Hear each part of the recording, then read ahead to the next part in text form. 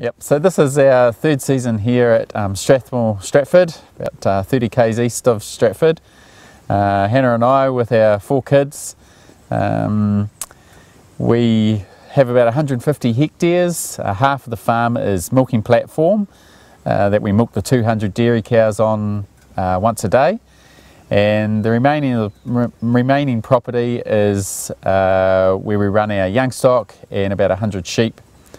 CMK have been with us from the very beginning since 2003 and um, we joined them simply because Greg's parents were, were with them and, um, and they've helped us in every aspect of our business since then. Um, a few years ago we were part of the Dairy Industry Awards and they were very instrumental in helping us with our finances and bits and pieces to do with that. Um, so it's that bigger picture stuff that they're, they're great with but then also just those little things like when I'm doing my GST and I've got a, a query that I just don't have a clue about, they're just on the end of the phone, so friendly, so helpful, really approachable you can ask for better accountants.